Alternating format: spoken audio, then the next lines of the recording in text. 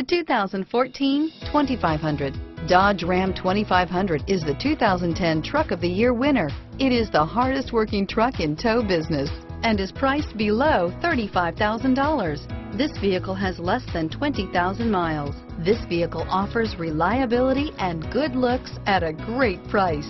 So come in and take a test drive today.